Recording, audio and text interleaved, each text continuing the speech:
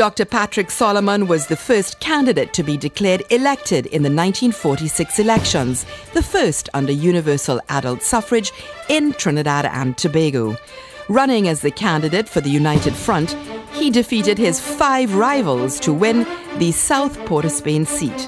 In 1956, he retained the seat as the candidate for the PNM.